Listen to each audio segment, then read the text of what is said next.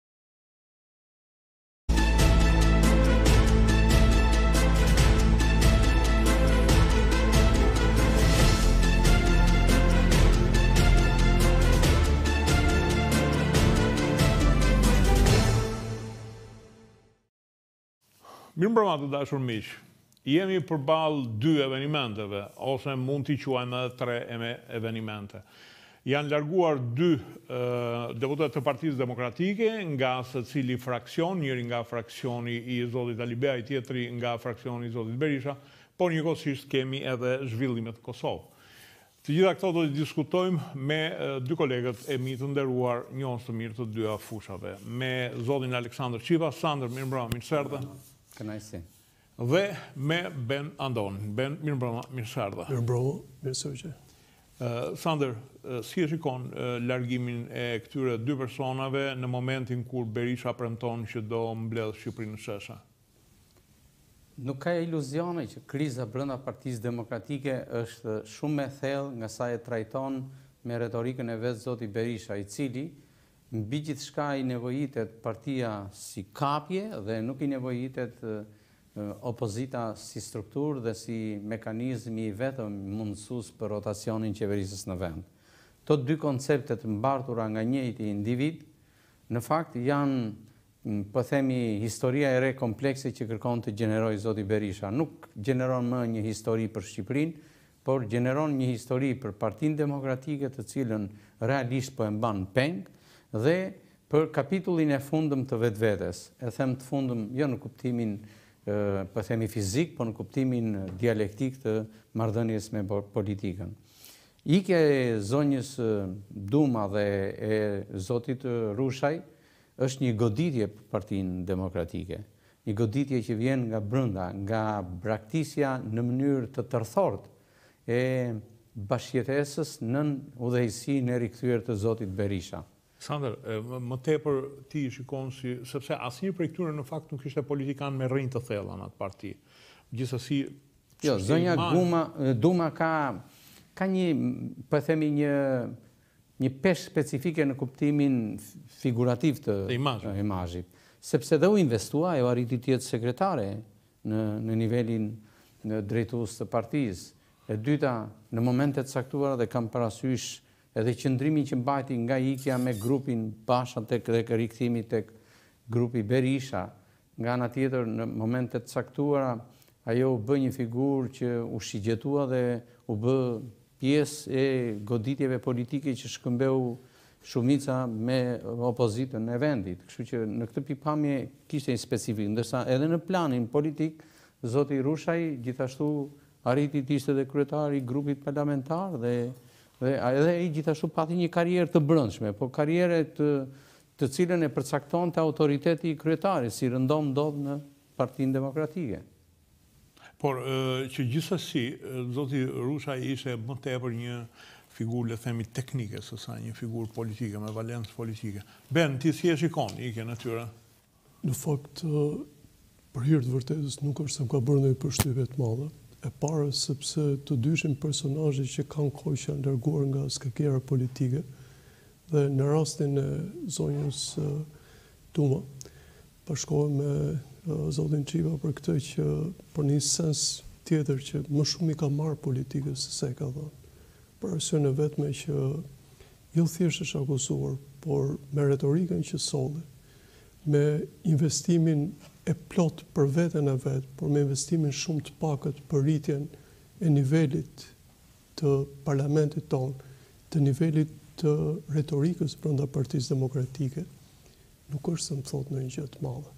Dhe më shumë, ju e dini, në kohët e fundit, më shumë ka qenë personazh i cili tërhiqte vëmendjen e medias tonë për sa i përket make-up-it, për sa i përket, le të themi, garderobës, se sa ideve të saj.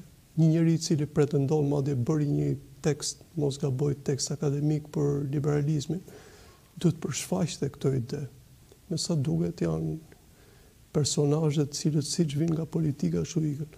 Ndërsa është krejt ndryshe për individin tjetër, zotin Rushaj, sepse pritshmëria ndaj tij ishte e madhe në sensin që ishte realisht njeri teknik, njeri shumë i ftohtë. Dhe po pritej të bënte një oponencë teknike të paktën, të ishte një zë po publik. Po me çfarë shikohet? Konsiderohet edhe një vlerë morale brenda opozitës. Po, edhe vlerë morale, por vinte nga Tirana, ishte qytetar, në ligjërimin politik të tij. Më duket se është shkodran, ëh, me origjinë. Goditja, goditja më e madhe. Trajtohet si Po, e qartë, e qartë. Besoj goditja më e madhe ka qenë goditja e ikjes së tij. Megjithëse ka qenë i pazëshëm, unë vlerësoj këtë atributin moral tek ai.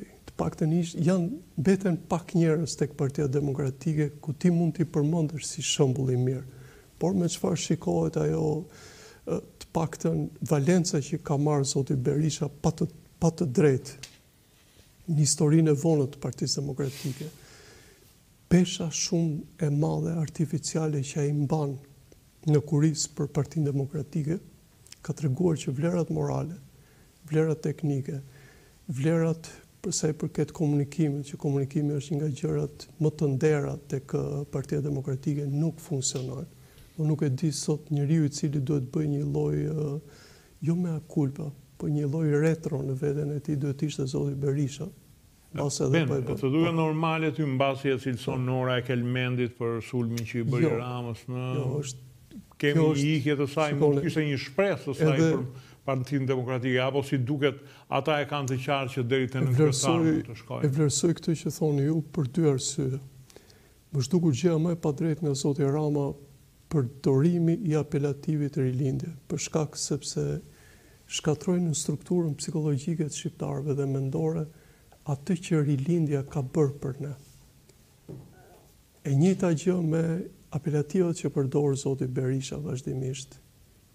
Ti të marrësh historinë tonë që ne e kemi pak gjysëm mitike sepse nuk e kemi të prekur realisht dhe t'ia u veshësh atë si atribut njerëzve të sotëm, që janë jo thjesht të përfolur, por që nuk tregojnë këto aftësi, ti tregon një mosrespekt për popullin tënd, për historinë tënde dhe për vizionin tënd që ke si politikan. E vlerësoj pyetjen në sensin që kam parë që njerëzit e kalojnë shumë ftohtë këtë. Po kjo është kur njerëzit, sidomos politikës, të cilët krijojnë strukturën qeverise, arrijnë të tallen me, siç ju thashë, me koncept shumë të madh të pjesës së qytetërimit tonë, se ne s'kemi qenë civilizim asnjëherë. Rilindja, kur ky përdor pjesën më historike tonë, të një lloj emancipimi luftarak, jo shoqëror, siç ishte Nora, atëherë llogarite se çfarë mund të bëjnë këta me historinë e sotme, siç bënë me njëzet e tetë, njëzet e nëntë Nëntorin edhe me gjëra të tjera. Po. Çipa, shikon ti që këta njerëz, megjithëse ky thotë Nora e Kelmendit, tjetri është vlerësuar deri në sekretari i grupit parlamentar. Ë si duket këta e kanë kuptuar që nuk ka karrierë, se fundi fundit njeriu futet në politikë për të dalë në krye. Si çdo gazetar futet me idenë që nesër dej të bëhet drejtor. Po në këtë moment, a ka një diçka që Këta njerëz e kanë kuptuar që shiko, këtu te Berisha neve deri te nënkryetar shkojmë ky do t'ia lejë familjes këtë parti. Ndërkohë në krahun tjetër shofin që është mbyllur në një cicmicë midis Alibeaj që shpreson mos bëhet kryetar dhe Bashës që mban njerëzit e grupuar rreth vetes që Ndërkohë ata që po vijnë mbas tyre që po po ikin, zëvendësuesit nuk të thonë absolutisht asnjë gjë. Vjen kjo gjithë ikja e tyre se ndoshta e kanë kuptuar që kjo është një amulli, kjo është e kotë të vazhdosh në këtë parti. Në fakt është një pyetje që të çon në një qasje të dukurive më kryesore që lidhen midis karrierës dhe politikëbërjes në Shqipëri. Karrierat politike në Shqipëri fatkeqësisht janë vetëm në mundësinë e dhurimit dhe nuk janë në mundësinë e investimit dhe të nevojës për ta arritur atë. për ta ndërtuar atë. Vini re tek Partia Socialiste përgjatë harkut kohor të qeverisjes së dhjetë viteve janë promovuar, janë dhuruar karriera. Disa nga ministrat më jetëgjatë të qeverisjes socialiste janë në karriera të dhuruara. Nuk vijnë nga një background i investuar para se të mbërrinin në këto poste. Dhe në këtë pikëpamje zoti Rama arriti të ndryshojë, të qarkullojë elitën e partisë, por jo të qarkullojë elitat mbi bazën e konkurrimit meritokratik. Dhe kjo është një specifikë, meriton të shihet, të shqyrtohet, sepse jemi para një dukurie e cila ndryshon Kryekëput nga historia politike e e periudhës e dy periudhave të mëparshme të tranzicionit postkomunist, pra nga viti nëntëdhjetë e dy deri në nëntëdhjetë e tetën dhe pastaj nga nëntëdhjetë e teta deri në vitet dy mijë që filluan momente të tjera, që pati edhe lëvizje elitash, tërheqjesh, vetëtërheqjesh, ikën Dokle, ikën e figura të cilat ishin shumë eminente tek për Fatkeqësisht tek Partia Demokratike është pak a shumë e njëjta gjë, por në një kohë tjetër, në një cikël më të shprishur, jo në një cikël ndjekës si varianti i Partisë Demokratike. Tek Partia Demokratike kemi vetëm, po themi, karriera të dhuruara, përcaktuese. Sidomos kohët e fundit. Në mënyrë të patjetër. Dhe zoti Basha bëri të njëjtën gjë, sepse gjeneroi, solli një një grup tjetër të ri, Por këtë e nisi në fakt dhe duket sikur vazhdoi stafetën e zotit Berisha në dy mijë e pesën që solli KOP-in. Dhe është momenti po them më cilësor nga pikëpamja e mënyrës se si u promovuan dhe se si u përfshinë. Por sot tek Partia Demokratike nuk ekziston më ky koncept dhe aq më tepër ky investim. Janë mbajtur vetëm personat që kanë ndjekur dhe kanë qenë besnikë të verdiktit pro dhe pranë Berishës dhe nuk ka mundësi për alternativë tjetër. Dhe mund të jenë dhe të penduarit, në rastin konkret rikthimi i zonjës Ina Zhupa që ka qenë zëdhënëse ke zoti Basha dhe kështu me radhë. Por kjo është më shumë, mendoj unë, për nevojat e paraelektorale se nuk është për... Pikërisht. Elektoratit që është koha e faljes, jam i hapur, jam... Po, ndaj të njëjtin arsyetim me kolegun Andoni kur shprehet për zonjën Duma që më shumë ka përfituar në pikëpamjen se sa ka dhënë. Po shikon, në politikën tonë të këtyre 30 viteve rëndom ka ndodhur që Kanë qenë më të evidentuar ata që kanë përfituar nga politika se sa ata që i kanë dhënë politikës. Sidomos ata që kanë përdorur median. Kush ka ditur ta përdorë median? Dhe kjo është një gjë që është atipike, po ta themi në raport me me politikën që ndodh në vendet fqinje apo në Perëndim. Ne nuk e kemi. Prandaj demokracia jonë është një demokraci hibride, sepse vjen prej kampionit më themeltar të saj që është pikërisht demokracia brenda partive. As mund të flitet më në në Shqipëri për demokraci të brendshme të partive tona politike? A është duke ardhur një vdekje e partive politike, sepse edhe Rama, mos shikoni momentin që në Partinë Socialiste nuk ka zëra kundra sepse është në pushtet, por në një farë mënyre nuk ke më figura që nesër dje do mendohen që mund, ok, është Veliaj një lloj, është outsider ende. Është, është, po janë vdekje të ngadalta. Edhe vdekjet e ngadalta janë dhe të mundimshme, po edhe me më tepër kosto. Unë mendoj që po.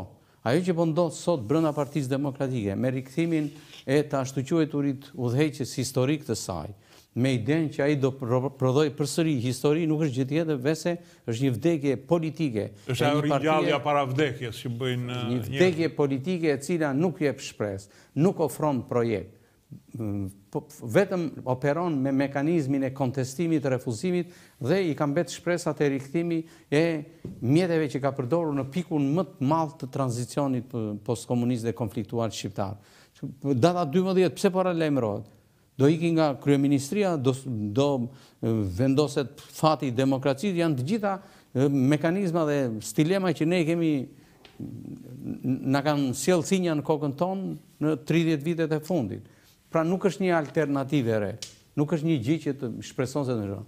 Merrni vox popet që japin mediumet tona dhe pyesin se çfarë projektojnë te rikthimi dhe qëndrimi i Zotit Berisha, nuk ka, ka vetëm një përgjigje të cilat e lënë Shqipërinë në një, në një trisht edhe në një situatë të mos tejkalimit të status quo-s. Ne jemi në peng të një status quo-e të cilën pikërisht ky lidership tranzicional, me një fjalë që është premtuar si i tillë, por në fakt nuk është tranzicional, është një një një lidership, një udhëheqësi politike e ngulur, e kapur me kthetra dhe me të gjitha mënyrat për ta mbajtur drejtimin e politikës shqiptare deri sa të kenë jetë fizike. Jo, kjo është alogjike, kjo është një një gjë që në fakt Nuk përkon. Edhe të gjitha plagët sociale që gjenerohen nga ky, nga kjo status quo, nga ky stagnacion i i mosndryshimit të lidershipit nuk janë gjë tjetër veçse gjenerojnë nga kjo. Thelbi këtu qëndron. Këtu nuk lëviz asgjë, këtu nuk ndryshon asgjë, këtu shtohet trishtimi dhe rikthehen plagët sipas konflikteve elektorale dhe betejave elektorale, sëmundjet e premtimit të votave, sëmundjet e përdorimit të agresivitetit elektoral, e konfliktit politik, janë të gjitha të riciklueshme në këtë vend, në pretendimin e rotacioneve, ndërkohë që në botë nuk zhvillohen kështu. Sot janë nevojat që një vend i vogël, me kaq shumë rrisqe si Shqipëria, duhet të ngrihen foltoret ku të debatohej dhe të diskutohej në mënyrën më thelbësore dhe analizuese për platforma dhe projektet kontrastuese midis palëve. Ne nuk i kemi këto. Dhe kjo premisë që po shohim për një fushatë të paranisur, ë? E kemi nisur gjashtë muaj para fushatën zgjedhore për administratorët vendorë, nuk është gjë tjetër, sepse dhe sikur ta projektonin si të ndarë me faza, që në dy muajt e parë do merremi me selektimin e kandidatëve, Dhe do evidentojmë cili do të jetë mekanizmi selektiv i kandidaturave që ofron njëra palë dhe ku ndryshon nga pala tjetër, ky debat nuk bëhet. Primaret thonë, ndërkohë primaret nuk po bëhen gjë tjetër veçse një, një iluzion se askush nuk po e shef. Jo, vetëm në Tiranë po bëhet fjalë. Por janë shtë, vetëm, vetëm gjatë kësaj jave janë shtyrë tre data zyrtare nga selia që ka zoti Berisha. Nga ana tjetër, kemi dublimin edhe strukturor, qoftë edhe informal, se pala e PD-së e zotit Berisha thotë që është e zotit Alibeaj që thotë, po, ne do të vëmë tanët e shu. Ky diskutim, që natyrisht kjo nuk bën gjë tjetër veçse rikthen dhe problemin e tmerrshëm të drejtësisë, sepse një nga goditjet më të mëdha që i bëhet me procesin e papërfunduar ose të mbajtur në kalenda të çështjes së verdikteve gjyqësore për Partinë Demokratike, është edhe politizimi i mundshëm i drejtësisë në Shqipëri. Ky është një agresion politizues, ripolitizues, sepse me sëmundjen e politizimit e kemi pasur në këto rishtazi kjo gjë. Nuk ka arsye pse sistemi i gjyqësorit shqiptar të mbajë në kalenda një çështje që nuk është kaq e komplikuar dhe në aspektin juridik. Kanë frikën e tash shiko t'i bëhet. Unë nuk e përjashtoj presionin, por po, pra. në rastin konkret kjo është një gjë që janë klyshë të rrallë. Në fund të fundit do do t'i do t'i mbetet si përgjegjësi, do t'i mbetet vetë gjyqësorit. Janë klyshë të rrallë. Ë kjo është e vërtetë. Beni, ti po. si e shikon këtë e shikon një lloj vdekje edhe PD-së? Nuk bëjnë dot primaret, në jug nuk ekziston fare. Domethënë, ajo PD që kemi njohur mua më duket se s'do ekzistojë më. Ne kemi biseduar edhe herë tjetër dhe unë vetë i përmbahem asaj që të dyja formacionet e mëdha politike tek ne, që në fakt më shumë përfaqësojnë bashkime në front një pjesë majtas, pjesa tjetër djathtas, megjithëse qartësisht nuk kanë ideologji, ka kohë që e kanë mbaruar misionin e tyre. Në sensin që kjo pjesë e Partisë Demokratike nuk i përfaqëson më njerëzit e Partisë Demokratike. Ndërkohë ai front i dikurshëm që ishte një thes i madh që mblidhte gjithkënd Kundër konotacioneve gjoja komuniste, paçka se në mendimin tim komunizmi në Shqipëri s'ka qenë që në tetëdhjetë e shtatë, ka kohë që e ka humbur misionin e vet. Kjo sepse të gjitha kauzat e Partisë Demokratike gjatë rrugëtimit të saj ia morën socialistët, domethënë ata bënë, ata i morën të përndjekurit. E në fund i morën edhe dy gishtat, me qira fjalë. Ata i morën të përndjekurit, Ata i morën të gjitha kauzat një nga një dhe mendoj që kjo rrugë shumë shpejt pret dhe Partinë Socialiste. Për arsyen e vetme që kam parë vetëm momentin e fundit të kongresit të tyre kur një moment arriti të artikulonte diçka ministri i Drejtësisë dhe menjëherë brenda fjalisë e rregulloi që tregonte që frika e madhe që ekziston në këtë parti, mungesa reale e demokracisë së brendshme, autoriteti piramidal që është në parti, të çon absolutisht jo thjesht në atë pjesën autokratike të Ramës që është e dukshme dhe atë gjuhën cinike, po dhe në përballje jo të mira në rast humbje. Për fatin e madh në këtë gjendje që është Partia Demokratike dhe opozita, socialistët duket se do kenë inerci të madhe, por gjithçka po e vuan votuesi shqiptar. Është e vërteta, një pjesë e madhe votuesit është jashtë, por njerëzit që duan të abstenojnë janë gjithmonë dhe më shumë. Nuk di fatin e asaj që do ndodhi me Partinë Demokratike, po besoj ju keni të drejtë me atë Atë një pjesë e Partisë Demokratike nuk bashkohet më me Berishën. Jo, përveç kësaj, mendoj që ka ardhur momenti, ose më saktë ka kaluar momenti që sistemi jonë i drejtësisë të kuptonte që ishte një pushtet dhe çdo njeri që është atje duhet ta ndjente veten si qelizë e këtij pushteti që ta ndihmonte trupin e madh të shtetit, që është kjo pjesë e opozitës, ju mund thoni me drejtë, po çfarë do bënte kjo? Do merrte fund diçka.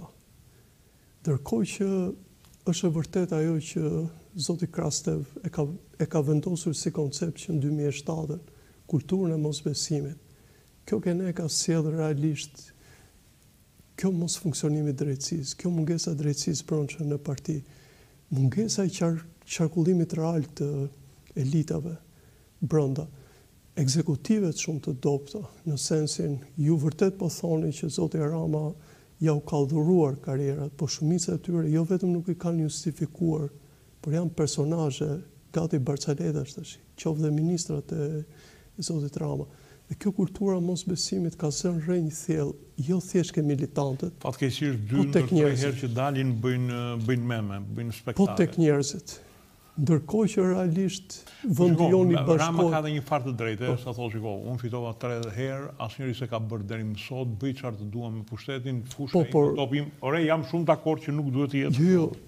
Politikani vizionar është ai çfarë lë pas dhe çfarë trashëgon. Se në qoftë se do lësh një parti e cila pas largimit tënd do fillojë të pësojë fatin e kësaj partie që ka opozita sot, kjo nuk vlen edhe natyrisht nuk është për t'u lëvduar. Po pra, dhe kjo është djegia e talenteve që bëri Berisha.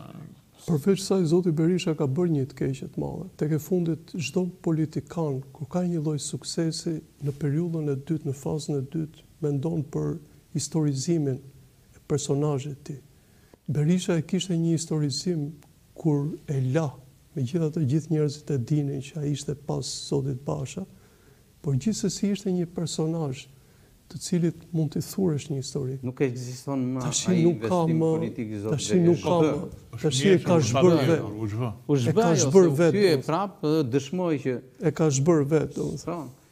Pse sot gjithë qëllimin e vet e ka me ka kauzat e tij janë kauza të cilat janë vetëm verbale.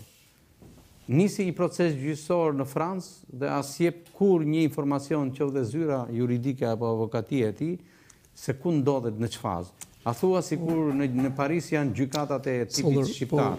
Kjo është. Jo, më të them, vim tek çështje të tjera. Flet sot për primaret dhe thjesht bën një një show i cili në fakt nuk i jep energji partisë, nuk i jep kapacitet, po përkundrazi. Edhe marrëdhënien me zotin Meta që e ka një ortak politik të shpallur, është një marrëdhënie që duket nuk është e strukturuar në thelbin e vet. Funksionon me një pramati, po ta përdorim një fjalë që nuk e përdorim shpesh, me një pramati e cila ka sipërfaqe, por nuk ka brendi, sepse ka bërë një lloj pazarizimi dhe ky është pazari i parë paraelektoral që ka ndodhur në në zgjedhjet vendore të Shqipërisë. Unë do të kem kandidatët kryesorë dhe ti do kesh këshillat bashkiake. Në cilin vend ndodh kjo që ti të paracaktosh se kujt do ia delegosh këshillin bashkiak? Më thoni një rast të dytë se kam bërë një lloj kërkimi për këtë në praktikën zgjedhore, nuk ekziston një gjë e tillë. Si mund t'i thuash ti qytetarit, këshillat bashkiakë do t'i marr unë dhe ti do marrësh kandidatët për kryetarë. Kjo është një gjë që dhe nuk ngre zërin askush, se kjo është një oponencë substanciale dhe strukturore për përfaqësimin plural në politikë, aq më tepër që zoti Berisha rikthehet tani në në në në në po e themi në epilogun e vet, rikthehet me pretendimin se do kthejë pluralizmin në Shqipëri. Nëse ti e rikthen pluralizmin politik në Shqipëri me një strukturë të pazarizimit paraprak, atëherë ç'vlerë ka? T'ju them diçka. Pikërisht, kjo është ajo që doja t'ju thoja, që po të më linit doja t'ju thoja. Kemi kolegët tanë tashmë që ikin në Dubai. Unë vetë, për shembull, kur shikoj, çuditem sepse nuk kam mundësi të iki dot as në Malësi me një pjesë të madhe të kolegëve.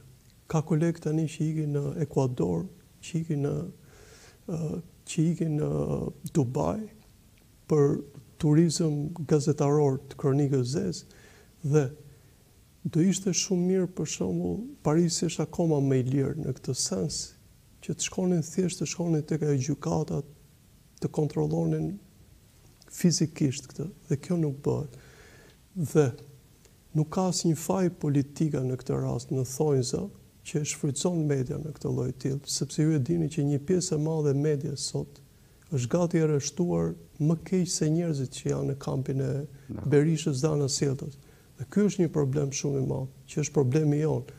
Mua më vjen shumë mirë që ju thatë që keni bërë një search, dhe search-i me gjithë mend është niveli që neve na mungon.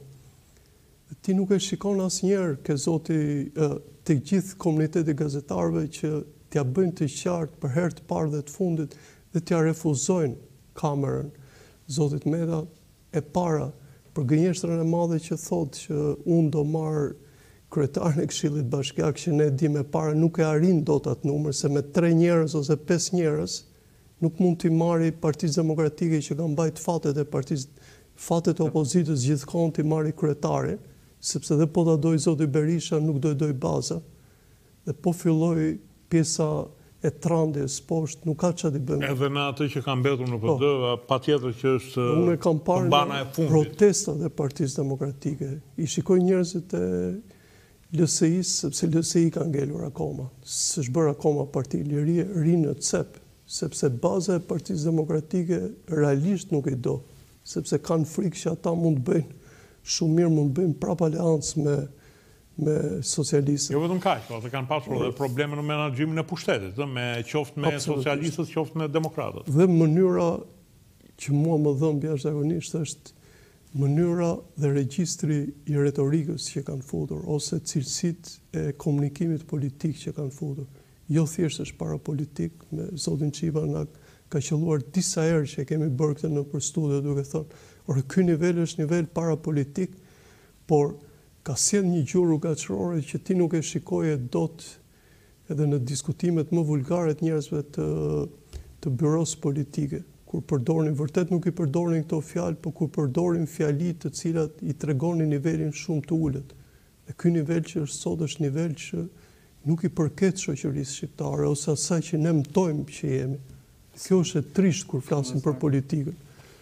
Duket sikur shqiptarët kanë dëshmuar që Kanë kujtesë të gjatë të interesit dhe u mungon kujtesa historike. Megjithatë, megjithatë, unë shikoj që do ketë një disfatë të opozitës në këto, në këto zgjedhje dhe më shumë se sa një mobilizim kjo për mua ka për të prurë një lloj shkrehje akoma më të madhe të opozitës në Në mund të fitojë, që të themi, që mund të fitojë, në megjithëse as në Skrapar nuk fiton Lëvizja Socialiste për Integrim. Në Tropojë të thuash, po dhe në Tropojë nuk mund të... Është shpejt ta themi se ka kohë fizike dhe për në politikën tonë për një muaj ndodhin ndryshime dhe kapërcime. Unë mendoj që shumicës në qeverisje i intereson kjo situatë e fragmentarizuar e opozitarizmit. Dhe po ta shikosh, nuk është një një aneks apo një seksion i opozitarizmit që të jetë eficient. Ky është problem. Shiko Partinë e Lirisë është një parti e cila nuk ka atë energjinë që i shkonte për imazh kryetarit të saj, Meta. Ka diçka, një ngërç që nuk Merr. Protesta e fundit në Çarr tregoi që. E dyta, pjesa e segmenteve të opozitarizmit tradicional që kanë qenë aleatë të së djathtës nuk ndez, nuk ka më. Dhe bile ata janë në atë pritmëni ça do ndodhë ke selia e Berishës. Gjë që është e papranueshme. Vetëm kjo mund të sjellë dhe dy gjëra që ne duhet t'i themi se mund të sjelli ato që quhen aleancat që dëmtojnë interesin kombëtar. Ka rikthyer zoti Dule që të kujton ato momentet e tranzicionit të dikurshëm, pretendimin për të marrë tre bashki në jug. Por ti s'ke një mijë e dyqind anëtarë, si do pretendosh të marrësh tre? Po mirë më le t'i japim për numër, po pretendon ai, po problemi është Amer Boka, a votohet? Po jo, kjo tregon që ti po injoron publikisht elektoratin, po ky është problemi. Jo, jo, e qartë. Nuk e kam fjalën unë, ai mund të kërkojë edhe pesë, edhe është e drejta e tij të thotë gjë. Por injoron atë që quhet pesha specifike reale e votës së qytetarëve. Nëse ti në mënyrën më degraduese e ke humbur elektoratin, ke humbur anëtarësinë e partisë tënde njëherë, që të paktën i mbledh së bashku ai identiteti i pakicës apo pretendimi i atij identi për pakicë. Dhe pastaj të pretendosh që ti do qeverisësh dhe tre bashki të cilat Ne dimë shumë mirë si janë sot dhe se çfarë ka ndodhur me përbërjen demografike të tyre, kjo tregon që ti kërkon ta marrësh tradhton sinqeritetin publik, se i thua unë dua ta marr në tryezë. Je po gati për çdo pra, çmim. Pra, këto janë çështje. Po këto, kush është ai demokrat që nuk e kupton se në ato tre bashki që kërkon zoti Dule, që ia kërkon Berishës se nuk i kërkon as te Kali Beaj, as te dikush tjetër, cilat janë dhe çfarë kërkojnë dhe kë provokojnë. se kërkojnë të rikthesh përsëri kazuset politike me profil apo me brendi etnonacionaliste. Berisha, qysh e bëri aleancën me... Këto nuk janë më se inteligjenca e publikut është më e lartë se ajo që mendojnë se gjenerojnë këta politikanët e ndënjur të Shqipërisë së tranzicionit. Kështu që në këtë pikëpamje edhe kjo nuk e kupton se çfarë kosto i shkakton vetvetes. Atë çka e projekton gjasme si aleancë, si spektër plural etj etj. I çon sinjale shtetit fqinj për t'u rikthyer dhe shtetit fqinj nuk i vlejnë më ato kazuse që ka pasur në periudhën kur zvarritej Shqipëria në kthetrat e tranzicionit të tij. Pra në këtë pikëpamje ai nuk nuk peshon efektin që i vjen Se duket sikur ndërton një pazar apo një një. Ka një lloj humbje të nuhatjes së Berishës, ë? Duhet thënë. S'pret, s'pres kreativitet më nga Berisha tani se. Gjë që më ka bërë përshtypje te zoti Berisha është që nuk e di se sa mund ta fusi këtë në sa mund të futet kjo në filozofinë politike të tranzicionit është Mënyra se si ai improvizon është gjithmonë politikë improvizuese sa politikë me me qëllime afatshkurtra ose afatgjata dhe kjo fillimisht ka dëmtuar Partinë Demokratike dhe pastaj ka dëmtuar dhe politikën shqiptare sepse shumë herë këtë e shikon dhe në partitë tjera. Për shembull dhe kjo dukuria e zotit Dule është një e tillë. Të improvizosh në momente të tilla që ka me tërmend sfond pak të dyshimtë, pak si shumë të dyshimtë, tregon realisht që kjo lloj politike po merret dhe nga edhe nga këto partizat e vogla. Ndërkohë që Shqipëria me tërë mend në këto momente kishte nevojë ndoshta për formacione politike më të vogla po të ishin të përkushtuar. E kjo pjesa e kryeta, e kryetarokracisë që rrjedh sidomos nga dy mijë e tetë tashmë është normë Kene.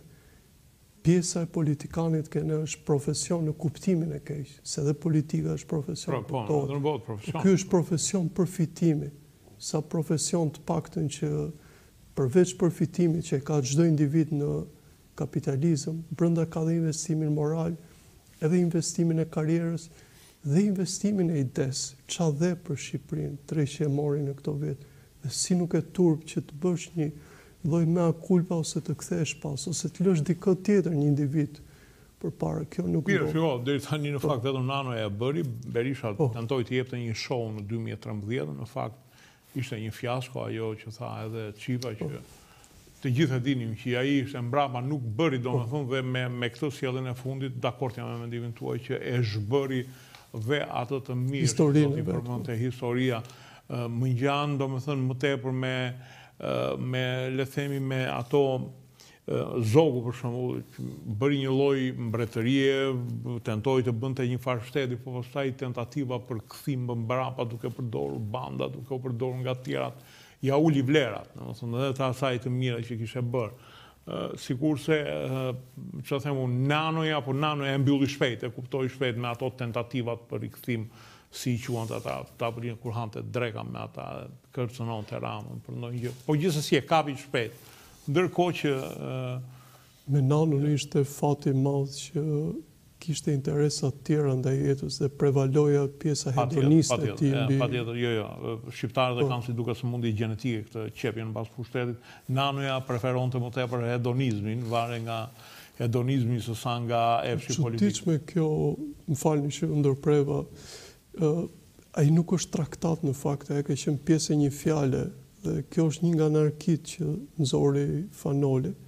Dhe jep një moment këtë rastin e këtij njeriut, në një nga këto luftërat e vjetra që kapet nga anija dhe kur i presin dorën kapet me dhëmbë atje. Dhe kjo ka ngelur akoma dhe sot e kësaj dite tek njerëzit që merren me Këtë e ka Berisha që kapet me dhëmbë. Absolutisht. Tek... Absolutisht, ai është. Po, ë uh... ai e përsosi domethënë si i thonë, është 78 vjeç. ë uh, po e lënë që të gjithë. Domethënë Po ta shikosh, janë ca të rinj. Unë për shembull, sinqerisht, nuk arrij ta kuptoj Këlliçi ose Ali Memeti. Unë i kam pasur në studio ata. Janë djem të shkolluar jashtë, djem të mënçur. Dhe si mendojnë që, domethënë, mund të mund të shkojnë mbrapa? Po prekin, po presin vdekjen e tij fizike që të marrin trashëgim Po kanë për të kanë për të marrë gjë në trashëgim? Të them të drejtën, nuk mendoj se janë pretendues të trashëgimisë apo të testamentit politik. Jo, më tepër. Por ky spektër i politikanëve të së djathtës apo të qendrës së djathtë në Shqipëri nuk ka një alternativë tjetër. Në Shqipëri fatkeqësisht ne e përjashtojmë përdorimin e termit treg politik, treg mediatik, treg dhe e reduktojmë në imazhin e një skene. Ne kemi një skenë politike, nuk kemi dot treg politik, sepse s'ka asgjë që të funksionojë si e tillë. Kur them treg në kuptimin se një çik duket pezhorative si si term, po, por për politikën. Por të paktën dhe pse, se një shoqëri e vogël, Një shoqëri e fragmentarizuar kaq shumë, në momente të caktuara, me të drejtë themi ne që ne kemi dhe sjellje parashoqërore, jo më të kultivuara si sjellje shoqërore. Dhe në politikë kjo është, nuk ka një alternativë tjetër që ata të, ta ndërtojnë vetë një alternativë është e pamundur. Historia politike e fraksioneve e tjerë ka dëshmuar që nuk ka lënë gjurmë dhe nuk ka bërë... Po mirë, në Bullgari, ca djem të shkolluar jashtë... Mos na krahaso as me një vend tjetër të Evropës Juglindore. Në Bullgari janë njëzet milion banorë, në Shqipëri mbeten për t'u përfshirë në politikë nuk mbeten më shumë se dy pikë një, dy pikë, një pikë tetë... Një pikë pesë, aq sa votojnë. Dhe kështu që është një, jo më kot po e përdor, është një skenë e vogël. Dhe Janë, ne fatkeqësisht jemi atë që e kanë projektuar qind vjet më parë, përmendi Nolin po Konica thonë, me tarafe, me fise, një politikë krahinariste, shpesh një ndarje në dy, një, një politikë duhet ta themi këtë edhe dialektore, sepse më është kaq evidente në jo pak raste. Dhe Ky grup i politikanëve të rinj ose që kanë ambicien për të mbetur te PD-ja, nuk kanë alternativë tjetër. Alternativat e tjera kanë dështuar tek ne. Natyrisht e treta, e katërta mund të lindte në qoftë se do kishte një vokacion të fuqishëm politik, të ketë një korac, sepse liderët, të them të drejtën, rrallë lind në në në tek ne.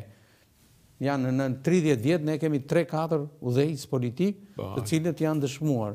Por dhe ata tashmë janë të stigmatizuar për shkak se Si e investuan, si u sollën me pushtetin, me abuzivizmin, me korrupsionin etj.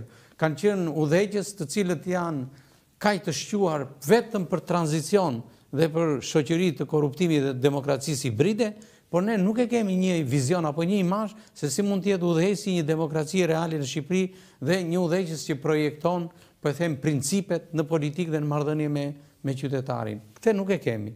Nuk nuk na lind. Dhe ajo që lind duket nuk na bind. Dhe partitë e reja që janë rishtare në në dy tre turet zgjedhore të fundit nuk kanë pasur, nuk kanë ngjizur, nuk nuk janë po themi nuk nuk janë mishëruar si premtim apo si premisë. Dhe ky është një një gjë e trishtë. Shumë e trishtë. Domethënë në pjesa më që la një shoj, një lloj shenje, por nuk u kurorëzua, Ishte Aleanca Kuqezi, që edhe ajo kishte një, por nuk bëri, nuk mori, nuk përfitoi rezultat elektoral, zgjedhor. Nuk Mjafti, të... Aleanca, janë dy inisiativa po, që... por janë të suportuara nga, nga për po themi, oligarkia tradicionale, se dhe mjafti ne e dimë si, si u ngjiz.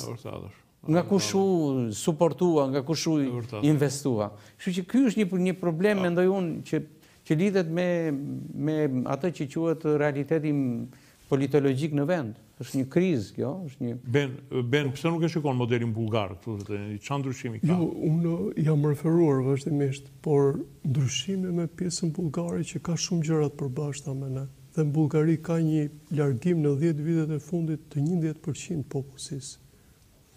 është që ata djemtë ishin në qeveri, ishin në nivelin e dytë të tretë dhe bënë goditjen e parë që treguan që mund të formonin një lloj formacioni politik dhe e dyta ata nuk thyen dot atë statuskon politike në në në Bullgari për shkak sepse ajo pjesë që shkoi në opozitë jo vetëm kishte pozicione të forta por Tek e fundit ka shumë ngjashmëri me politikën tonë, politikë klanore, politikë shumë e lidhur me me të pavërtetën, ndërkohë që retorika e këtyre dy djemve ishte shumë përballë, në sensin që luftë ndaj korrupsionit, të shikojmë të vërtetën, të matemi me korrupsionin dhe reformat do jenë këto dhe i kishin përcaktuar edhe afatet, afat shkurtër, afat gjatë do bëhet kjo falë shkollimit të tyre.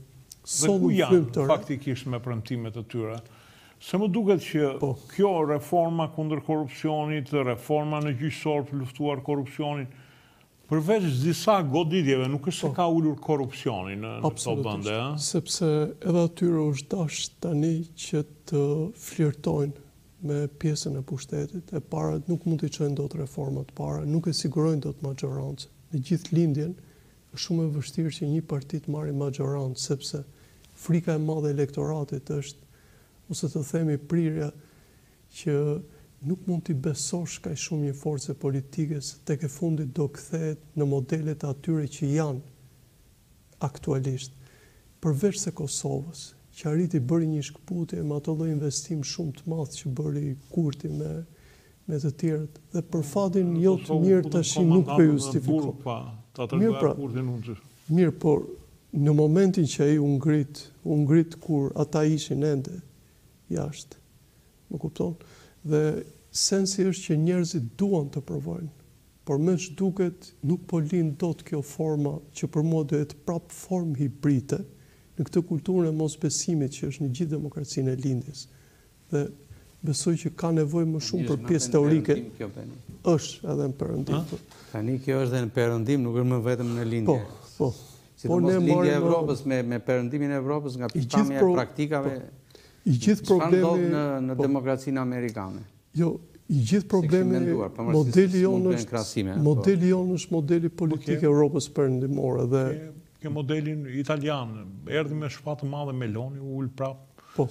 Merr këshilla nga Draghi se ku duhet të shkojë. I vetmi gabim që thonë që është qenka gabimi më i madh është implementimi direkt i kësaj lloj demokracie që ka qenë në Perëndim, e cila është kolauduar për kohë dhe që ka probleme sot e kësaj dite që po e thoni tamam, u implementua menjëherë në lindje, te njerëz që kishin dalë nga mitra e e një sistemi krejt tjetër, një sistemi jo të drejtë. Po mirë, ok, sistemi, kam idenë që këtu implementuan demokracinë e panë që s'funksiononte dhe prunë reformën në drejtësi, po më duket se Nuk bënë llogaritë që ata që do zbatonin reformën çalojnë që të gjithë fusin që të gjithë ujë. Nëse do ma lejoni këtë, më ka qelluar para dy javësh kam intervistuar penalistin më të vjetër shqiptar, është njëqind e tre vjeç tani.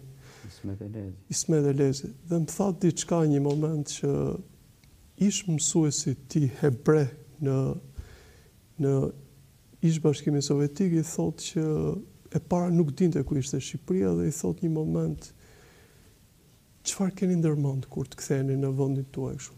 Dhe shumë patetik, si djalë i ri, me shumë entuziazëm, nga shkollë e mirë, pothuajse mbaruar mirë, shkëlqyeshëm, i thotë kam ndërmend të bëj një reformë në gjithë pjesën penale, por reformat në pjesën penale, në konstitucionin penal, kanë lidhje me antropologjinë, etnologjinë, të gjitha. Domethënë ka nevojë për një search shumë të madh që tregosh identikitin. Kështu.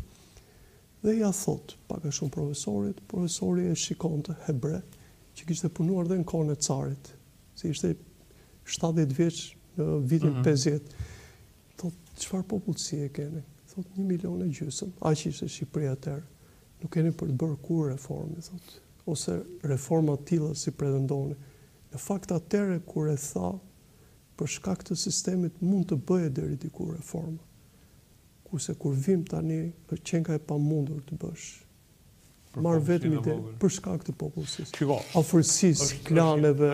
Është një fakt që shtetet e vogla nuk bëjnë dot sipërmarrje të mëdha. Po. Kjo është postulat. Edhe në qoftë se nesër ne do bashkohemi me Kosovën, do bëhemi një mizerabël katër mijë. Megjithatë kemi modele të ndryshme. se Mali i Zi nga pikëpamja juridike ka një stabilitet juridik shumë më të ndryshëm nga ajo i munguari jonë. Nëpërmjet Raportet periodike ne na përcaktojnë për një vend me instabilitet juridik. E mbani mend pohimin e kancelares gjermane Merkel, Para pesë vitesh e bëri këtë deklaratë. Ky është një vend që ka dëshmuar mënyra se si ne e amendojmë Kushtetutën në mënyrë, ndoshta në rajonin tonë jemi vendi që kemi bërë ndërhyrjet më të shpeshta në Kushtetutë. Dakord, po edhe Kushtetutën tonë e bëri një me shkollë të mesme dhe një me shkollë arti. Ne jemi një shtet me 110 vjet jetë tani, nuk na falet. Po, si shtet me 110 vjet jetë, Sandër nuk na lejohet që kishim konstitucionalistë të jashtëzakonshëm dhe ia lamë njërit me shkollë të mesme e tjetrit me shkollë arti. Edhe e dyta, vijmë sot, kemi ardhur në një moment ku kemi nonsense juridike brenda Kushtetutës, se amendimet ligjore që bëhen nga ministritë shpesh krijojnë ngërçe Nonsense me me ligjin themeltar të shtetit. Drejtoritë e kodifikimit dikur kishin juristë 60 vjeçarë, sot vihet njëri që hyn me mik në punë. Sa kemi ne jemi gazetarë, kemi 30 vjet që jemi në krye të detyrës. Unë nuk mbaj mend të kemi dhënë ndonjë lajm se sa herë Mali i Zi e ka ndryshuar Kushtetutën. Ndërsa Shqipëria një herë në katër vjet ndryshon, a mendon? Ndoshta dhe se s'i intereson njeri. Jo dhe intereson, se në rajon është, se ke pjesë të popullsisë. Gjithsesi, gjithsesi, kam, kam idenë që Mali i Zi më tepër po, stabilitetin e ka nga Milo, Mora modelin në miniaturë, nuk jo, jo. mora një model që... E ka nga një udhëheqje 30 vjeçare, e ka nga autoritarizmi i tij, sesa nga... Gjithsesi, kjo është, kjo është një temë që ha debat. Megjithatë, po marr një vend që ti e njeh shumë mirë, Greqia. Me kushtetutën nuk luajnë, pavarësisht. Po mirë, magjistraturën e ka e hanë gjyqtarët lekun edhe bëjnë. Jam dakord, po në Greqi ka tjetër gjë ka. E para është një vend që ka stabilitet juridik, ka sidomos në dy dimensione. Ka zgjidhur me familjet Greqia. Po, nuk cedon, nuk cedon Greqia me interesa kombëtare siç cedojmë ne. Ne sot duhet duhet të kishe gjyq të pambarimtë pse u rikthye rinegocimi i kufijve tokësorë i shelfit detar në Shqipëri pse dhe nuk them se si është ku ka mbetur procesi po pse kush e risolli ka libra ekspertësh siç është Shaban Murati që thotë dhe këtu nuk po e them këtë gjë sepse kjo është Ku guxon në Greqi një njeri që të sjellë ndryshime ligjore që rrezikojnë tërësinë kombëtare apo integritetin tokësor? Janë gati duke shkuar në luftë me Turqinë. Nuk ndodh, nuk ndodh. Ndërsa ne e bëjmë me lehtësinë më të madhe dhe dhe kërkon edhe të marrë edhe Dekorata ai që e inicion apo e bën. Jo, nuk. Se ne kishim edhe Ditmirin që ishte gati duke thënë që e mbylla këtë punë me Kociasin, po kështu që nuk u mbyll ajo punë. Gjithsesi, ë drejtësia me sa duket kam frikë se te neve mbeti edhe duke u nisur nga ajo që tha Beni, një një eksperiment që Po dështon, ë, është në rrugën e dështimit. Unë nuk po shikoj ndonjë rezultat specifik. Ka, kemi, sa kohë zgjati implementimi? Kemi 6 vjet. Jo, jo, po le, po mbasi u implementua, që s'mund të justifikohet. Jo, pasi s'ka shumë për atë punë dhe fakti... Po BKH, BKH jo, më fal, ka bërë një vit e gjysmë. Këtu gabimi është te projektuesit. Ata që e projektuan reformën dhe ndryshimin e arkitekturës së sistemit të drejtësisë në Shqipëri, duhet të planifikonin kohën e zbatimit, rëndom thuhet implementimit. Ne këtë nuk e kishim këtë parashikueshmëri dhe ju e mbani mend para pak muajsh u bënë dhe ka akoma tentativë për për vakumet që që janë në sistem. Dhe e dyta, ata që ishin projektues Duhet të shikonin, sa janë mundësitë e kapaciteteve të burimeve njerëzore tek magjistratura dhe të, a kompensohen vendet më funksionale? Jo. Kjo gjë duhet të ishte e parashikuar. Nuk mund të futesh në një reformë kaq tërësore, kaq strukturore sa asnjëherë s'ka ndodhur më parë dhe befas të ngelesh peng i vakumeve dhe i mospasjes së kapaciteteve të burimeve njerëzore. Jo, kjo është Nuk e di. Dhe askush nuk jep. Jo, jo, e vërteta është që ata s'kanë njerëz që të çojnë nëpër. Po mirë, kjo duhet të parashikohej. Dhe dy. Prandaj pra po them, po duhet të llogarisim edhe një diçka tjetër që për sa për sa i përket reformës në drejtësi, edhe këta njerëz që janë mund të bënin diçka. Po pa dyshim. Deri tashti kemi në burg vetëm Saimir Tahirin edhe Lefterin. Ndërkohë, ndërkohë, ata që janë akuzuar gjatë në gjatë 30 vjetëve për korrupsion Po ju kalojnë, po ju parashkruhen afatet ligjore, Berisha, Meta, edhe një vit ju ka mbetur dhe mbas një viti ti nuk i çon dot në gjyq. Kolegu Andoni përmendi, përmendi atë esenë e e Ivan Krastev, i i besojmë mosbesimit, e përmendi pak më parë. Po ai thotë me të drejtë, thotë, në vendet e ish-lindjes, thotë, Ekzistojnë të gjitha trimëritë, vetëm trimëria profesionale mungon. Është e vërtetë, po. Dhe kjo është një e vërtetë. Ne kemi trimërinë e krimit, trimërinë e politikanit agresive të konfliktit, trimërinë e kontrabandistit, e trafikantit e tjerë, por trimërinë profesionale jo, s'e kemi parë. Dhe kjo që na mungon, që është më e rëndësishmja, do të ishte më efektive. Po, po, mos harrojmë edhe diçka që gjëja e parë që bën opozita, që bën politika, kudo që të jetë godet gjykatësit, policët, pra ata që përfaqësojnë anën represive të shtetit. Në fakt është edhe një model social jo i mirë në sensin që këtu asnjëherë nuk fryhet një model i mirë social ose për shembull një model aktivizmi ose një model drejtësie. Këtu ne jemi shumë të prirur për modele gjysmake që nuk janë modele në vetvete dhe mbi të gjitha për të bërë retorikë, për shembull, për gjëra shumë sipërfaqësore. Dhe realisht më vjen mirë që edhe Çipa e solli ndërmend pjesën e Krastev, që shumë se kështu ka qenë thjesht një sprovë e tij. Ë jam ndier mirë sepse për faktin që ai dhe Shqipërinë, po dhe ish hapësirën e Jugosllavisë, e fut gati në shtratin e Europës qendrore lindore. Domethënë kjo prirje qenka jo thjesht prej komunizmit, po edhe edhe e mbartur nga kohët e shkuara. Për fatin e keq ne kemi dhe një matricë tjetër që na rri sipër që është matrica e ish Perandorisë Osmane, që në vetvete ka qenë shtet Ka pas struktura të qarta, vetëm për fatin e keq të tyre në shekullin e nëntëmbëdhjetë dhe ata filluan të bjernin dhe po të shikoni me kujdes do sjell një element të historisë së Kosovës që do dali tash i hartuar nga turqit. Është një gjë shumë interesante që Perandoria Osmane ishte mbikëqyrur nga forcat perëndimore dhe gjithçka që ndodhte në Kosovë në dhe në vilajetet e tjera, jo tek ne, në vilajetet në hapësirën shqiptare, po në Kosovë dhe më tutje, merrte direkt vështrimin e forcave, jo forcave, autoriteteve angleze, gjermane, franceze.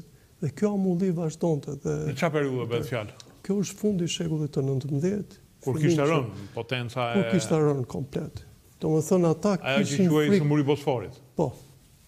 Ata kishin frikë llogaritë që të vepronin. Megjithatë, se ruanin njëri tjetrin, më mirë po lëmë këtë se sa të fillojmë të përplasemi me njëri tjetrin. Po, aty të shikosh mënyrën se si veprojnë shqiptarët me njëri tjetrin, mënyrën se si komportohen me pushtetin, si manovrojnë, Ti shikon që ndryshimi jonë në mentalitet është shumë shumë i pakët për hir të vërtetës me sot. Nuk e kemi respektin ndaj autoritetit, nuk kemi respektin ndaj bashkësisë. Domethënë tek e fundit edhe themeli i një shtetit është themeli i bashkësisë. Bashkësia ndihmon kombin dhe pastaj kombi tregon, do shkojnë rrugën e civilizimit apo Dua t'i shfrytëzoj minutat e fundit për Kosovën. Sander, ti je një analist i vjetër edhe ndjekës edhe në bazë i Kosovës.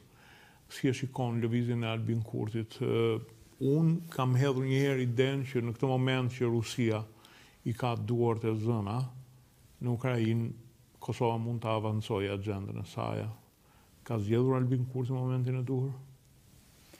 Mendoj që nuk është se ka zgjedhur momentin e duhur, por për Albin Kurtin si politikan nuk ka rrugë tjetër në në Kosovë përveç zgjedhjes që ka bërë. Së pari janë disa axhenda të cilat nuk përcaktohen nga Albin Kurti dhe aq më tepër nuk mund të ndryshohen prej Albin Kurtit kryeministër. Këtu janë sidomos dy axhenda, një me efekt të brendshëm dhe me marrëdhënie të brendshme dhe tjetra me efekt dhe marrëdhënie partneriale, që lidhet me partnerin më të vështirë të historisë ekzistenciale të Kosovës që është Serbia. Albin Kurti ka pas dy marrëdhënie me periudhën kur do të vinte në pushtet si kryeministër i Kosovës dhe me periudhën kur ai është kryeministër i Kosovës. Ato kanë qenë dy periudha në mospërputhshmëri njohjesh dhe mundësish për vetë Albinin. Së pari, tashmë jemi para një momenti kur Kosova në një presion ndërkombëtar të shumëfishtë dhe Po e themi edhe të shumështresëzuar, sepse janë dy diplomaci të investuara për këtë projekt. Diplomacia e periudhës së presidentit Trump dhe diplomacia e demokratëve nën kryesimin e presidentit Biden. Është diplomacia e Brukselit me gjithë derivatet e e saj, por në mënyrë të veçantë edhe me tangentet kryesore që ajo ka. Dihet se sa divergojnë tangentet e diplomacisë gjermane dhe asaj franceze me interesin në Ballkanin Perëndimor dhe kryesisht në relacionet midis Kosovës dhe Serbisë. Të gjitha këto nuk janë gjë tjetër veçse janë çështja e ekuacionit të pazgjidhur dhe të vështirë i zgjidhshëm i Kosovës. Por sot Albin Kurti ndodhet para një Rreziku i cili është potencial edhe për jetëgjatësinë politike por në mënyrë të veçantë edhe për fondamentin politik që dëshiron të lërë dhe pretendon të lërë.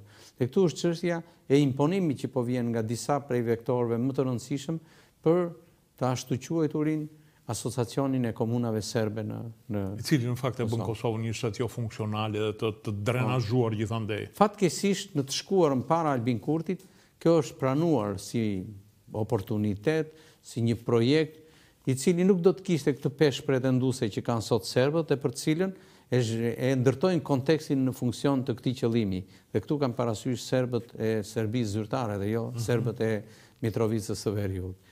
Dhe ata janë në një lloj alternance me njëri-tjetrin, janë komplementarë. Edhe strukturat lumpenike të krimit dhe të trafikimit në Mitrovicën Veriore janë komplementarë me aksionin politik dhe me synimet zbatuese që Beogradi zyrtar kërkon të ketë në në Kosovë.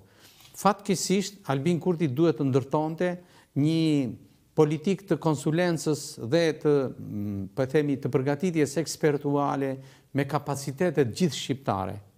të negocimit dhe të parashikimit të një konjunkture siç është kjo e pazakontë që po përjeton aktualisht. Po, ndoshta e ka bërë o Sandër, se ka ardhur një herë urgjent në Tiranë, ka ka bërë disa lëvizje që. Të vish urgjent dhe të vish në një takim kokë më kokë, nuk mendoj se është investim. Përkundrazi, është çështje e një situate të pa të beftë, nuk është çështje e një situate të mirëstudiuar dhe të projektuar. Unë nuk di që ekspertë të diplomacisë, të lëvizjeve strategjike, kapacitete të të njohjeve së lobimeve etj etj të jenë konsultuar zyrtarisht me Qeverinë e Kosovës. Nuk e, nuk e kam fjalën vetëm për Shqipërinë, ëh. Flas gjithmonë në hapësirën shqiptare dhe madje në shumicën kryesore në diasporë edhe në Në emigracion ne kemi shumë, shumicën e atyre kapaciteteve atje i kemi, nuk i kemi më. Vërtet. Këta djem që kanë studiuar jashtë. S'janë më as në pjesën shqiptare të Maqedonisë së Veriut, as në Kosovë, as në Shqipëri, edhe në ndonjë vis tjetër fqinjor në Ballkan. Jo. Ato janë të gjitha o në Perëndim o në Evropë, sidomos në vendet europiane. Kjo gjë duhej bërë. Dhe sot Duhet të studiojë. Në qoftë se pretendove se ndërtove një politikë të imponimit të reciprocitetit, siç u tha për targat, na rezultoi që një detaj i targave po gjeneron një kosto, një krizë me një kosto e cila është e paparashikueshme. Po mirë, po... Se në qoftë se u krenuam me arritjen e reciprocitetit, hiq targa ata dhe hiq ne kur kalojmë nga gardhet e njëri tjetrit, kjo nuk është ndonjë sukses i madh, që të jemi të sinqertë. Po.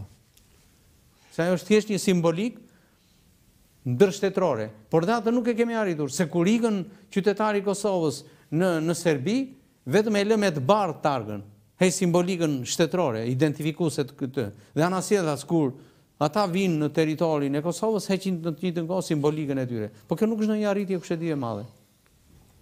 Ben, ka një dualitet në po. politikën amerikane ndaj qasjes së Kosovës? Po, është e dukshme. është e dukshme se shikohet nga emisari i zotit Trump që futet në mendimin tim kurdoherë që mundet. Në fakt, me çfarë kuptoj, shteti Amerikan ka struktura shumë më afër të gjithë problematikës. Më vjen keq që kur ky sens ekziston në Amerikë, ti mund të llogarisësh pastaj se ç'mund të ndodhë ke ne. Por pa dashur të shtoj gjërat që ka shtuar zoti Çipa, do t'ju them që zoti Kurti duhet të ishte i kujdesshëm, në sensin që çdo indikacion që vjen nga Uashingtoni nuk duhet marrë me rezervë. Po duhet të marrë i mirëqenë dhe realisht duhet parë me shumë kujdes. Kur të thonë që do shtyhet dhjetë muaj, ata e dinë gjithë brenda thelbin e problemit. Po këtë thanë dhe radhën e kaluar, shtyje nja tre muaj. Po pra, po kur të thonë ata prapë do e shtysh, dhe po ta thonë pesëmbëdhjetë herë prapë do e shtysh. Për arsyen e vetme që nuk duhet të japësh pikë për të pamundshme. A ka një lloj, Çiva e tha, asociacioni e ka drenazhuar komplet Kosovën. Është më keq, nuk e ka drenazhuar Kosovën. Po, po pra po, e ka, i mungon uniteti Kosovës. Ku ta gjej Kosova drenazhohet, e ka ndarë Kosovën. I mungon uniteti, pra. Jo, se e ka ndarë, e ka ndarë Kosovën. Po pra, e ka ndarë në mënyrë kapilare. Po pra, dhe gjithë lufta E përdora drenazhim në sensin e nën tokës, pra është e padukshme, por në realitet është e ndarë. Jo, më fal një sekondë. Tashti ky tjetri po ia nxjerr Mitrovicën ne s'e duam jashtë kujtove ku the që Mitrovica është e mbushur, tha, të dy, tha, është e mbushur me kriminelë, me llumin e ish-Jugosllavisë i ka çuar në Është më keq akoma. Në Mitrovicë. Është më keq. Okej, akoma më keq atë. Tashti ky njeriu, ky Albin Kurti, o i duhet të ndërmarrë një veprim, Ose kur do ta ndërmarri? Sepse nëse Rusia mbyll punët në Ukrainë, do t'i mbylli si do t'i mbylli, qoftë edhe me humbje, ëh? Qoftë edhe duke lëshuar edhe Krimenë. Prapë do mbetet një fuqi e cila do dojë të projektohet diku tjetër. Absolutisht. Dhe mund ta zgjedhi shumë mirë të projektohet në Serbi. Serbia ka për të qenë më e fuqishme atëherë se sa tashti. Ka, t'ju them diçka në këtë moment, nuk është tamam kështu siç thoni ju. Në muajin e fundit, Serbia po bën përpjekje shumë të mëdha për t'u shkëputur nga sistemi energjetik rus. Për arsyen e vetme që. Ata kanë lidhur një kontratë për gazin, sapo e lidhën. Po, pra, po më lini një moment, lutem. Po të them gjëra të konfirmuara dhe mund t'i konfirmosh në media sllave. Për arsyen e vetme sepse vërtet ti ke kontratë, po ka kufizime nga vende tranzite. Dhe sllavët po ndërmarrin një politikë shumë të madhe për pjesën e energjisë rinovuese. Dhe e dyta, fryma që është në Serbi është që po ta shikoni me kujdes, është më afër Kinës se sa Rusisë. Pse?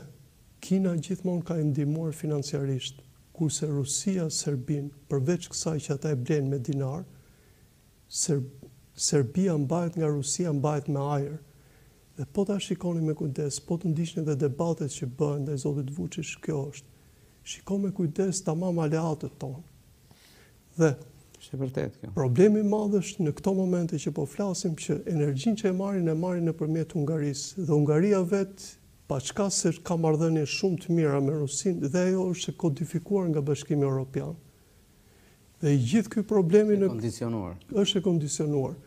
Dhe në këtë moment Serbia vërtet është në problematik shumë të madhe dhe prandaj ka çliruar këto energji të tilla, por keni harruar diçka.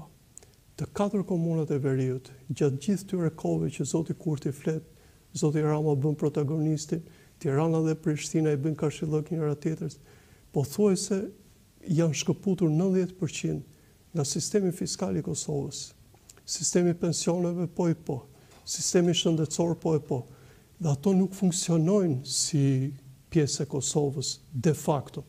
E kjo ishte një kërkesë kur ishte zoti Thaçi president, serbët e Kosovës ia bënë direkt, e kam dëgjuar vetë serbisht, që neve nuk jemi pjesë e derivatit politik të Listës Serbska, flitet për serbët Çipa e njeh mirë Kosovën e fushës Kosovës dhe pjesën tjetër. Neve jemi qytetarë të Kosovës, po jo pasardhës të kolonëve. Po kosovarë serbë, që kur ja thua shqiptarëve nuk e besojnë që janë dhe ata kosovarë. Dhe i thonë që zoti Thaçi ti je president i vendit tonë. Nuk ke bërë këtë, këtë, këtë dhe këtë. Lista sërpska po ashtu na ka gënjyer për këtë, këtë, këtë. Domethënë donin të bëheshin qytetarë të Republikës së Kosovës. Jemi, e pranojmë këtë gjë. Se na veçone. Dhe ky është problemi. Po edhe kjo ka një të keqe, është kjo është po. ka inteligjencë malinje brenda, po. nuk është në raport me interesin e Kosovës. Dhe ky tani është dhe ky është problemi tani që Vuçiç gjithmonë e ka mbajtur presionin e serbëve të listës sërpska dhe këtë tha pardje. Që më kanë ardhur njëzet herë tha për të dalë dhe i kam mbajtur unë. E mban një këmbë nga Bashkimi Europian dhe një këmbë këtu. Dhe kjo është përdor për retorikën e brendshme. Dje ka thënë një gjë shumë të çuditshme, për shembull, kemi rritjen ekonomike më të madhe dhe mund ta konfirmoni, tha këtu, arritëm që e kemi pensionin e kemi të lartë, arritëm që rrogën mesatare e kemi tetëqind euro. Dhe kjo në një farë mënyre po përdoret retorikë të brendshme. Krizën po pra, po këtë pra presë. Këto i ka shfrytëzuar me kapacitetet Dhe ndërkohë ka shtyrë dhe, ka shtyrë dhe atë që ju e dini shumë mirë, një vit e gjysë përpara, ai ishte gati që të dilte të jepte mandatën që jemi të detyruar që ta njohim Kosovën. Për shkak të gabimeve tona të vazhdushme, konjunkturave që ndodhën në botë, na u shty dhe një afat tjetër.